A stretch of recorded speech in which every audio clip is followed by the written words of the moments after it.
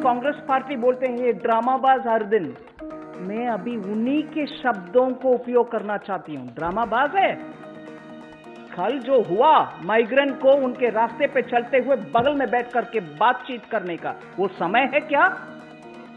वो ड्रामाबाज नहीं है क्या?